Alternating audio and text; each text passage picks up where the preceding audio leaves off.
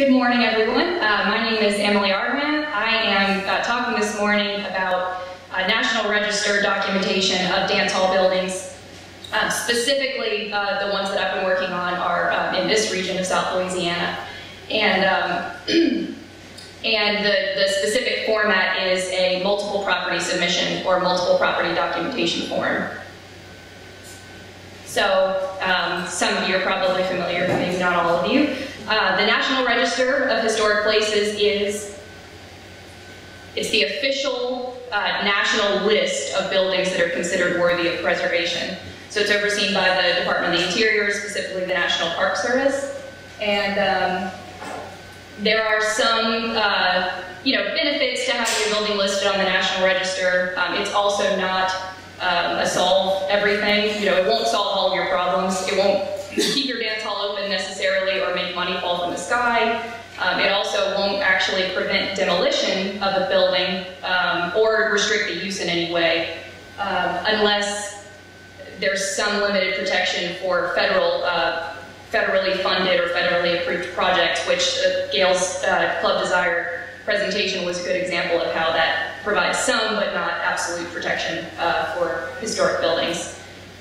Um, what it can do is uh, provide some access, access to uh, tax incentives um, or other grants, uh, as Steph McDougall mentioned a little bit about that yesterday. Um, and it can provide a certain level of status and um, encouragement for preservation. So, uh, you know, it doesn't necessarily always work like this, but the best case scenario is that it can, um, it can sort of encourage a community to look at a building in a way that they uh, maybe didn't before, um, and you know help people to rally around the cause of potentially um, saving a building. So, uh, buildings that are, or properties that are listed on the National Register of Historic Places can be listed individually. Um, they can be listed as part of a district, which is a collection of buildings that are all in one place. Um, or uh, there's, there's also a multiple property uh, submission, which is a collection of thematically related buildings that aren't necessarily next to one another. Um, so if there is, you know, a certain type of building that, that shares a history, um, you can, uh, you can, you know, submit one of these forms. It doesn't automatically um, nominate all the buildings. You know, once, once we submit this, it's not going to be that all dance halls are, you know, now listed on the National Register but it's intended to um, help facilitate and streamline the process of nominating individual buildings. So, you know, in the case of a Cajun dance hall, you don't have to say, well, it started in Nova Scotia every time that you want to list an individual building on the National Register. So it establishes, let's see, the components are here. It establishes the historic context that all of these properties have in common. So what is their story? What are the components of that story? It includes a statement of significance. Um, how did these buildings contribute to that story? Why are they important? Um, it establishes one or more building types. Uh, so, so you know, you try to categorize buildings, describe them, what is it, and what makes it what it is, essentially. And then there's a list of registration requirements, which is um, the qualities that an individual property should have or retain in order to be considered eligible for the National Register. So ideally, you know, if this works properly, you should be able to use it as a template for an individual property and, uh, and sort of be able to determine you know, whether it's likely to be listed on the National Register, and then you can point to things like those historic context, the, you know, the descriptions, the physical characteristics, uh, things like that in your nomination for the individual building. This is just an example of what the form looks like. It's much longer than that, that's just one page.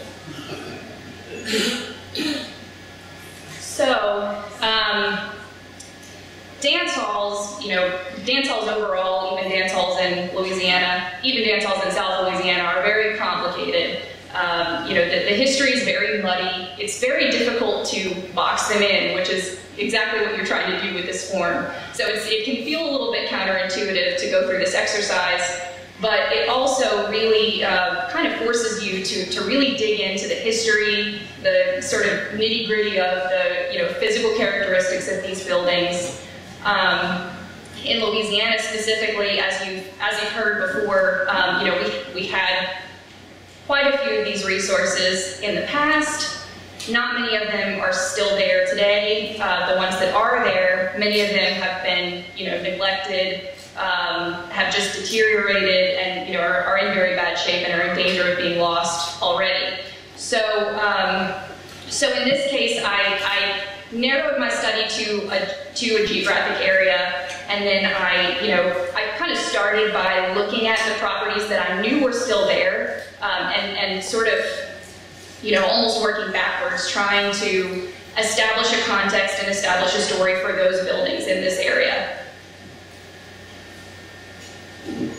So this is the geographic area that I used. It's uh, you know the, the, area officially designated as Acadiana um, in the in the southern parishes of Louisiana, the French-speaking parishes of Louisiana.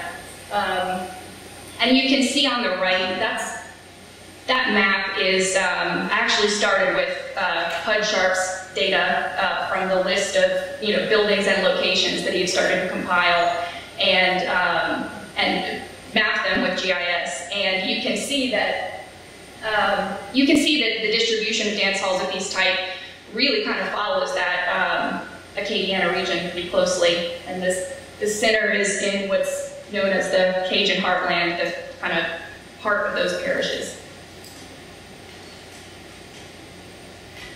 So um, the kind of guiding factor that I used for these properties was music. Um, there are three types of music that are considered indigenous to this region, um, Cajun music, Creole music, including Zydeco, and swamp pop. Um, so that, those were the three historic contexts, contexts that I ended up writing. Now, this is very, very basic. It's intended to be added on to later. Um, you know, there, there are more aspects of each of these contexts that can be added. Um, each of these contexts can probably be divided up into three or more, you know, shorter time spans. Um, but, you know, for the beginning, so that we have something to work with, this is, this is where we're starting. So the first two contexts um, sort of uh, follow the two cultures uh, that are prominent here, Cajun and Creole. And they cover a time period from about 1900 to about 1985, which actually corresponds with the, um, the buildings that we know still exist, even though it, you know the context actually starts in the mid uh, mid 18th century when um, you know people started to settle in this region.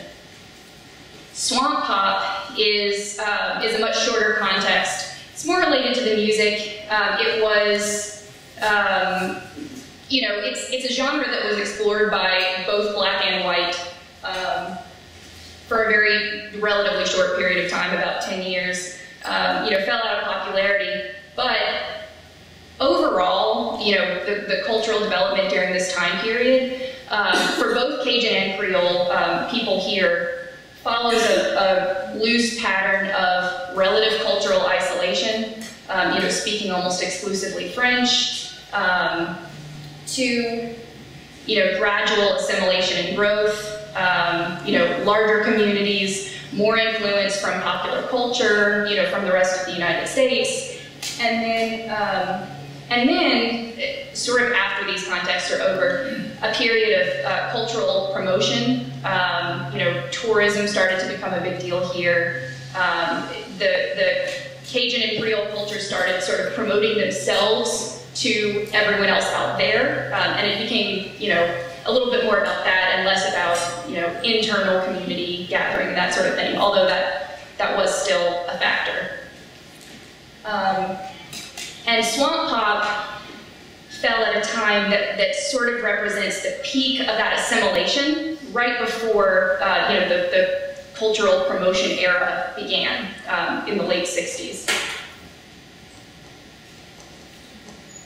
So, um, so, you know, when you talk about the Cajun and Creole cultures in South Louisiana, you, you can't really have one without the other. Um, you know, both influenced each other tremendously. Um, although they were still separate, mostly because of Jim Crow segregation, um, you know, racial issues. Um, but, you know, they were both primarily French-speaking, used the same types of instruments, um, mostly agricultural, um, and uh, they, there are a lot of parallels in their stories as far as the music and the use of dance halls. Um, so there, so the, the contexts, either, even though there are separate contexts for each culture, you know, each refer references the other quite a bit. Um, so just some very brief points about Cajun, the development of Cajun music, um, Acadian settlement in the mid-18th century, also Anglo-American and other European immigrants who were in the area. That's why you have a lot of Cajun McKees here in Louisiana now. Um, the, the Acadian cultural norms eventually became the uh, dominant uh, you know, social norms here, and everything kind of melded together, more or less. Um, started with house dances that were usually, uh, you know, a couple of musicians in a corner in a house. Uh, gradually moved toward commercial dance halls. I think the first, the first reference of a, of a public dance hall that I found was in, was in the 1860s, uh, but it certainly became, you know, a lot more common into the 20th century. That, uh, in turn, had a, had a pretty profound effect on the music. Um, you know, as musicians moved into larger spaces, they needed more volume, playing for larger crowds, could fit more musicians. Um, in the 20s and 30s, uh, you had you had a lot of um, the accordion, which had been used for a while, kind of dropped out. Uh, everything became sort of string-based and had a lot of Western swing influence. After World War II, uh, when people came back from the war, uh, there was a there was sort of a level of homesickness that that caused kind of a resurgence of the traditional Cajun music. But at the same time, you know, it was the rock and roll era. People here were discovering Elvis Presley right along with the rest of the United States. And that's when uh, swamp pop really began to develop. Creole music, obviously you have African Americans coming here um, for slavery, also Haitian Revolution um, settlement in the very late 18th century. Um, there were musical styles, uh, musical traditions that were more Afro-Caribbean influenced, um, they still spoke primarily French here. Um, dance halls, I didn't find as many references quite as early here. It's, it's sort of a chicken or egg thing, but it seems like um, dance halls really became more common with um, you know, more urban music styles gaining popularity, R&B, you know, they were very common by the 1940s, but it was maybe more of a, more of a 20th century thing. Um, also had house dances that became less common as time went on. Um, the larger dance halls are reported to have, have led to um, a faster dancing style, less variation in the music, and what kind of ended up being considered Zydeco, which is which is a very fast, you know, dance type of music. Um, trail rides in the 1970s are included in this context very briefly. It was a, um, sort of an ode to the cattle ranching lifestyle of the 19th century. Um, those are still popular today, and there are certain dance halls, you know, that have ranch in the name. Frank's Ranch in Lawtell would be an example of that, um, that were commonly used for the big dance at the end of the trail ride. And in the 1980s, um, there was a sort of a resurgence of Zydeco music um, as, as I read it in a few places, I, you know, I checked a couple times first. Um, couple people told me that the song "Don't Mess with My Toot Toot" by Rockin' Sydney in 1985 sort of saved Zydeco music for you know for the youth um, at that time, and uh, so you know Zydeco music is still very popular today, as we all know. And then swamp pop um, developed sort of like rockabilly music in the early 1950s. Uh, you know, people in this region were hearing rock and roll music, trying to emulate it, uh, but still retain some of the influences of the traditional music of the region. Um, the term swamp pop wasn't coined until I think the 1970s, uh, so it wasn't intended to be its own thing necessarily. Um, but as I said before, um, it does sort of represent the peak of assimilation. You know, you even had uh, band members changing their names to sound more American, even though you do have the, a couple of baddos in this photo who hadn't necessarily changed their names. Okay, so I concentrated on one building type, even though there certainly are more that can be added later, and I'll talk about that. So what is a dance hall? We see one here in uh, Mamou in 1919, shows up on a Sanborn map. We have several of these that show up on Sanborn maps, um, you know, early on in very, very small towns. Chataignier, Basile, uh, which are somehow in the Library of Congress scanned for, uh, for us to find. Um, but, you know, pretty much, pretty much in every small community that's represented in this way um, in the first half of the 20th century, you can find a dance hall somewhere one year. Uh, Mamou actually had two this year in 1919. It's a large building, it's larger than most of the buildings around it. And that's an example of a Wednesday night dance in Mamou in 1953 in the same part of town. I can tell you what a dance hall is not.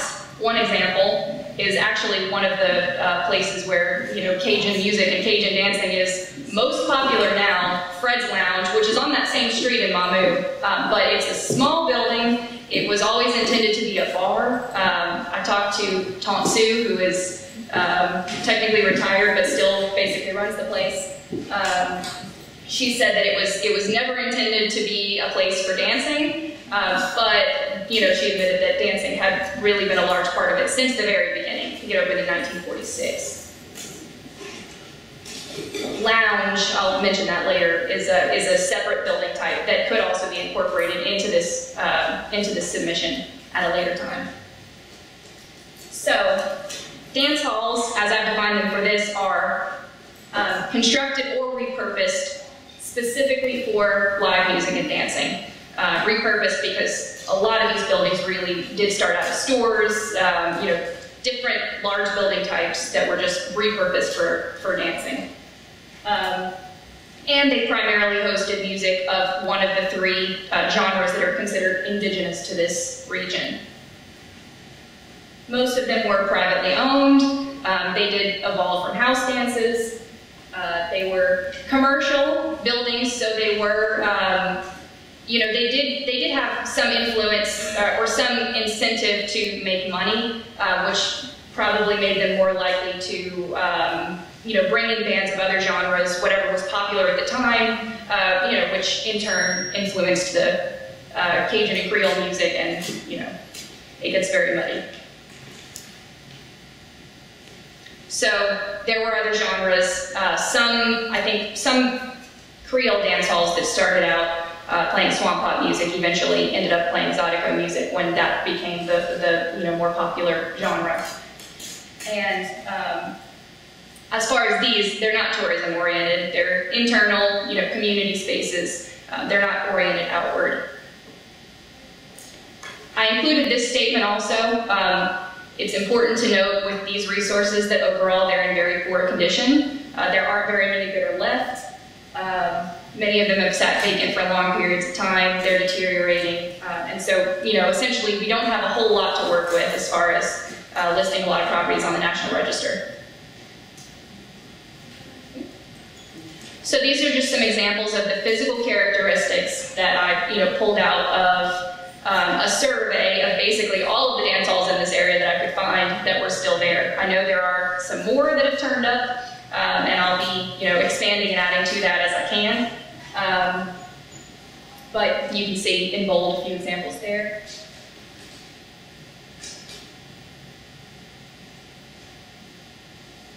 Interior configuration, obviously large open floor space, stage that's delineated either by elevation or a balustrade on the floor. Um, some that were built later in the 1950s and 60s, the ones more associated with Swamp Pop had, um, you know, mezzanine levels, more complicated floor plans, sometimes multiple bars. Oh, and then later on, um, I think this was more 1970s, 1980s, but I did notice several Zydeco dance halls that had a small um, service window that opened directly onto the dance floor that had kitchen beyond it, uh, so you could just order food right at the dance hall. Um, that seemed to be limited to those buildings.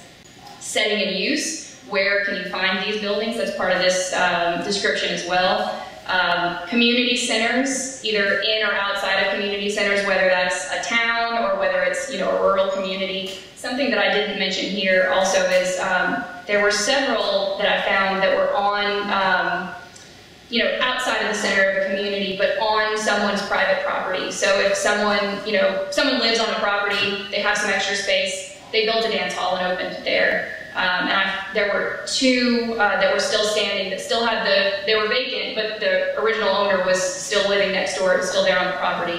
Um, and then there was one, I think, that, that had been, but had recently been torn down. Some are located in mixed use buildings.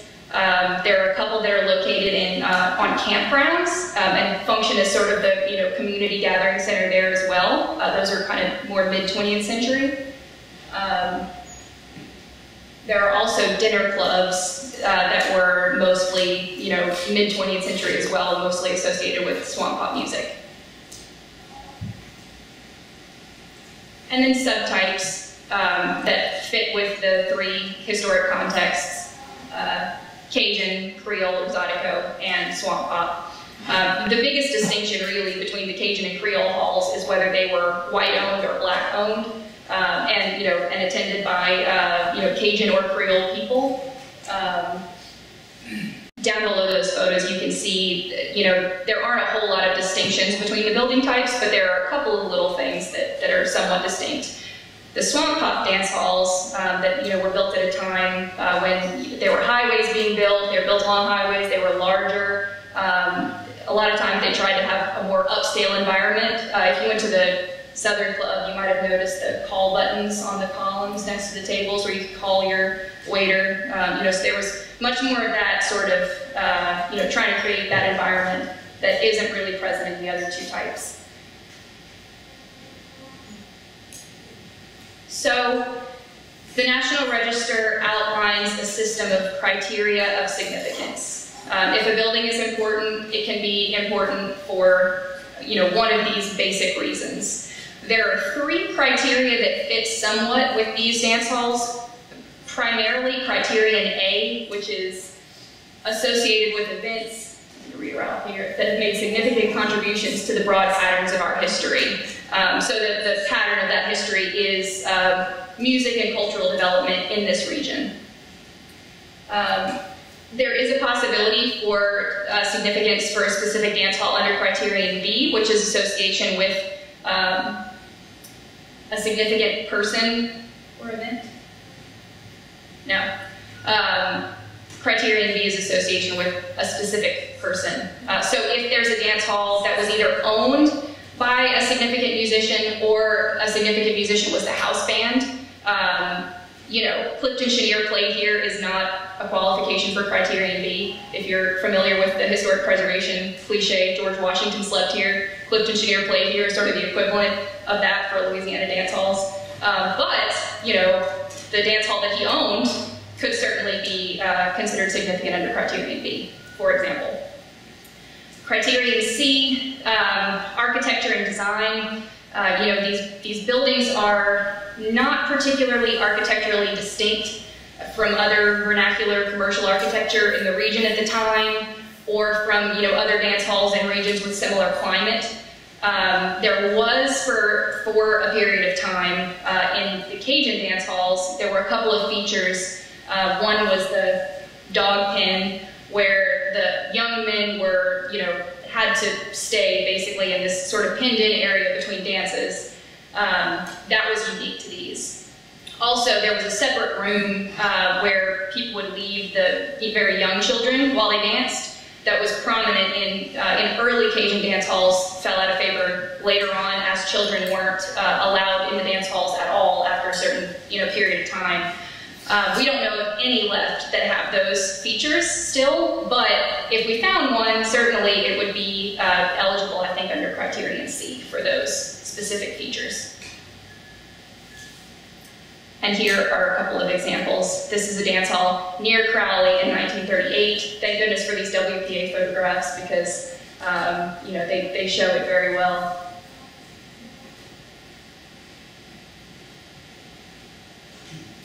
So, registration requirements.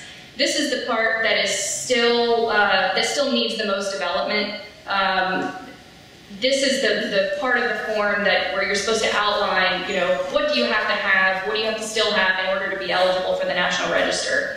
Um, a lot of these buildings have been heavily modified over time. Um, you know, they've deteriorated quite a bit. Um, so yeah, I've, I've, tried to make the registration requirements as open and inclusive as possible, um, but I'm still working on them. So integrity uh, for the National Register purposes, there are ways to evaluate um, integrity, which is how much a building retains its um, basically the, the, essence of what it was historically and how well it still conveys that vis visually. Um, so as far as the essential physical features that would be required, I think for dance halls, the overall form and the interior configuration are the most important. We have Here's a picture. So the bottom left corner here is uh, what used to be Abe's Palace in Eunice. It was built in 1901, and, uh, and on the exterior, is a you know very common-looking two-story brick commercial building um, on Laurel Street in uh, in Eunice, and the second floor was a dance hall beginning in 1901. It closed in 1940, and it is, uh, you know, there are reports that it, that it played, they played this kind of music there. They played Cajun music there mostly. Um, I believe Amédé Ardoin performed there. Um, and now, you know, the interior, I think they still have the original floors, and in some places they still have uh, the old tin, uh, pressed tin ceiling, uh, although some of the panels have been taken off and kind of moved into other, you know, used for wall finishes and things like that. But the whole second floor is now divided up into luxury apartments. Uh, and it, it doesn't, you know, convey its use as a dance hall anymore really at all.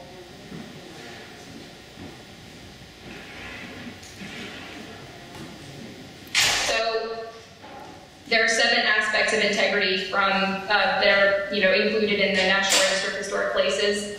Um, these can all apply for the most part. Location, there are a couple of dance halls that have been moved that normally automatically, you know, pretty much disqualifies a building from being listed. Um, the location is important for these because they were, you know, the heart of a community, or they were out in the country, uh, you know, at a certain time. They were on the interstate between two towns, you know, later on. And so the, the location, you know, the, you know, the context changed over time as the culture of the music developed, and that's, a, that's an important part of their significance.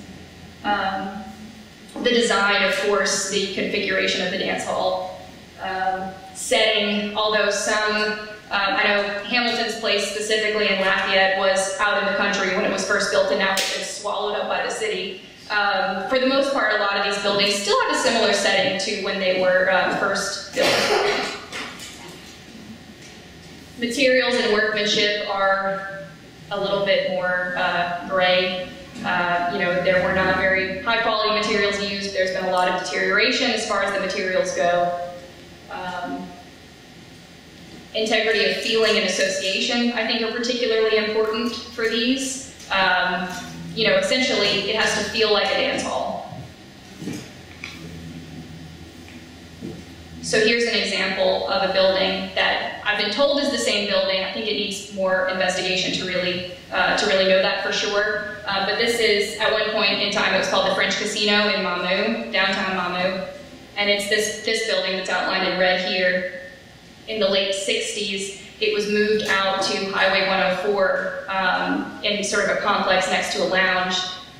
The front facade was completely, uh, you know, completely changed. It was put on a different foundation. Uh, the interior of the building actually is, um, it's hard to take in all at once because it's full of furniture, but, uh, but it still very much conveys the sense that it's a dance hall. You know, it's still the big, large open space, um, but with it having been moved, the facade having changed so much, uh, you know, that one is that one is a little bit tricky as far as whether it could still be eligible. You could maybe make an argument that it was moved in the period of significance, since the period of significance is so broad, uh, and it sort of was was two different types of dance halls in two different eras. Um, but I don't know about this one. So uh, later on, I think we can add more building types that are related to uh, these same historic contexts. Certainly, um, more historic contexts can be added as well, covering different genres, you know, R&B, uh, jazz, um, that all had dance halls associated with them in uh, larger cities. You know, New Orleans is a big one. There aren't any dance halls in New Orleans that are included um, on this uh, nomination right now. Um, but also building types, lounges. Uh, there are lots of bars that were, uh, you know, not built intended to be dancing spaces, but that ended up, you know, being large gathering spaces for dancing. Fred's is a classic example. Um, I don't know if there are any residences that hosted uh, house dances very early on, but if there were, you know, certainly that would be an option as well. Um, church and community halls that had uh, you know, public dances as a secondary use uh, would also, could also be another building type, um, as well as stores. Later on, um, you know, starting in 1980 with Mulate's in uh, uh, you started to have these uh, combination Cajun restaurant and dance halls. Um, if you've been to Randol's here in Lafayette, that's an example. Um, those are relatively recent. Um, you know, they're not necessarily historically significant yet, but I think they certainly will be. Um, it sort of represents the next, uh, the next era of, uh, you know, cultural development, sort of in that cultural promotion time period, uh, where, you know, we were trying to introduce ourselves to the rest of the world and saying, you know, come in and experience this. Um, a lot of those are still operating today, and a pretty significant thing about them, I think, is that they uh, reintroduced children to the dance hall experience. Um, you know, children weren't allowed in many of these dance halls by the 1970s, 1980s, and these were, um, you know, intended to be family-friendly places where the whole family could come and enjoy and learn festival grounds also. You know, I don't know, uh, I haven't explored that possibility really, but um, a lot of the, you know, Cajun and Zydeco dancing that happens now um, and has since the 1960s uh, has been outdoors part of, uh, you know, cultural festivals. Um, so that's, you know, definitely something to consider, I think, in the future as well. Um, recording studios, you know, less less oriented with dancing, but recording, commercial recording uh, certainly did have an effect on the development of the music, particularly swamp pop. Um, so I think that would be something we might consider in the future as well. But we're starting here, the three historic contexts, the dance hall building type, and really kind of delving into what that is, what we have left, and um, you know, what makes them eligible so that we can uh, hopefully list as many of these as possible on the National Register. Um, the real test of it is going to be when we you know, start trying to uh, actually nominate individual buildings using this form. Um, and you know, there might be some changes that come along when that happens. But um, I'm very open to uh, feedback, suggestions, uh, you know, for how this might be uh, developed further. Um, and thank you all very much.